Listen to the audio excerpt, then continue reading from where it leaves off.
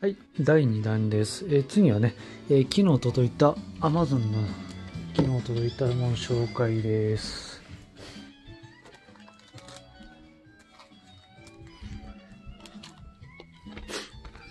はい、今映ってます。えー、キングスーパーライブ2018。えー去年のね、えー年末かな？そ確か12月に、えー、ワウワウの方でね、えー放送された、えー去年の2018の、えー DVD です。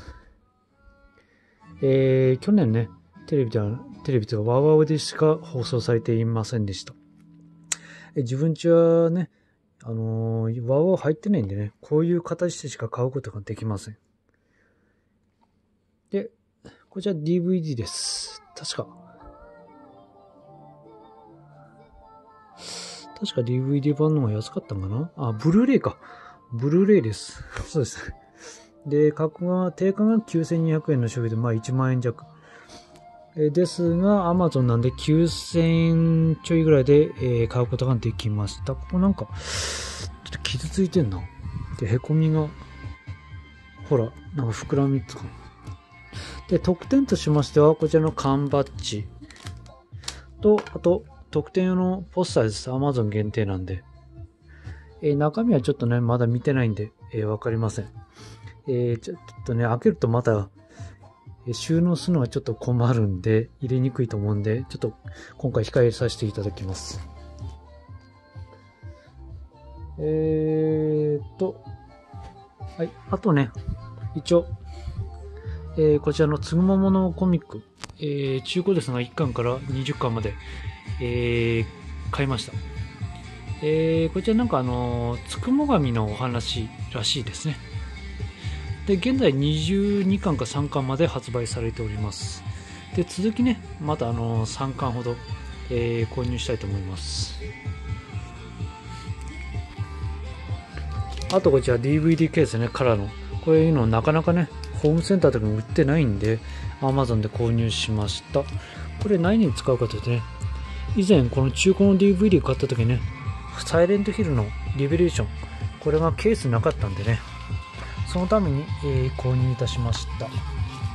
まあ、また何かあったら、これ使いたいと思います。なかなか売ってないんですね。こういうケースって。普通のね、こういう CD のね、こういうケースだったら売ってるんですけども、なかなか売ってないです。えー、ドラレコはこの間動画上げましたね。で、それぐらいかな。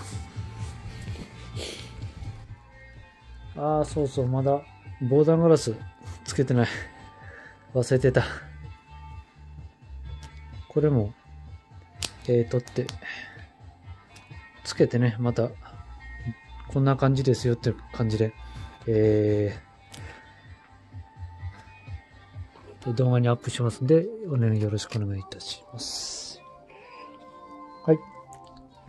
例のマウスコンピューターの件ですが、購入いたしました。では、まだね、届いていません。今、受注生産なんで、マウスかさんは。えー、一品一品ね、受注生産のため、長野県のね、飯山市かな。そこにマウスコンピューターさんあるんで、そこで、あの製造組み立てをしているみたいです。えー月曜日に注文電話して、もちろん営業所止めにしてもらいました。で、火曜日に、えー銀行 ATM ね、振り込んで、昨日ですね。で、今日メール来まして、入金ありがとうございますということで、えー、納発送が18日だったかな？来週の月曜日になるみたいです。あた来るのが楽しみですね。えっ、と、スリムタイプじゃなくてね、あの、タワー型の、えーディスクトップにしました。ちょうどね、横幅が、えー17センチ。今ちょっとね、えー入るかどうかちょっと、えースケールとかで、えー測って、ここにちょっとね、印つけてありますけど、ここがちょうど、こっから、ここまでが17センチです。で、その間に、ディスプレイを入るように、えーないろんなメーカーのやつを見てね、18.5インチワイドとか、19インチワイドとか、えー、いろいろ探しまして、えー、18.5でも19でもなんか同じサイズのとこがあったんでね同じサイズだとね入らないんでねこのここここまで 43. 点どんだけしかないんでこっからねこの線までがなので、えー、今回、えー、入札してますがな、してますのは NEC の、えー、19インチワイドの、え、ボディが白ですね。自分黒かと思ったら白でした。白入札しました。まあいいですけどね。まあこれ、パソコンディスクもね、白なんでね。えー、ちょっとね、本体と色合わないなと思って後からちょっと後悔しましたけど、本体黒なんでね。まあなんとかね、ここじゃなくてもね、ちょっと内側入っても別にいいかなと思って、ちょっと大きくても、ちょっと中入ってもね、このディスプレイのこの枠ぐらいは別に隠れてもなんともないんで、そうすれば、この17センチの本体とギリギリじゃないかなって思います。計算した限りではギリギリでしたね。スペック自体はね、またあの来た来たらまた、えー、またあのアップいたします。まあ今のねこのバースプレイよりはね全然性能はいいんで CPU もね、えー、グラフィックボード？ボードとかもまあまあ全てによって性能はいいと思います。昔の方よりもね。あとはオプションで、えー、DV でねスーパーマルチつけていただきました。えー、標準だと何もドライブついてないんでね。あのえー、受注生産なんであのなんだっけ。えー、自分の好きなものをつけてもらえるっていうやつですね。選択ができるってやつです、えー、種類が豊富なんでね自分の好きなものをそこから選んで取り付けるという、えー、選択になります。まあそのまあただじゃないんでね選択すればするほどその金額が上がっていくんでものによってねちょっと高いのもありますけどね。えー、ディスタワー型のデスクトップでも、えー、フロントがね、通気性がいいメッシュ型のやつもあります。それはオプションで5800円だから。どっかそこら辺だったと思います。え、9000円かな？忘れた。で、自分はね、そのメッシュ型じゃないノーマルタイプのやつにしました。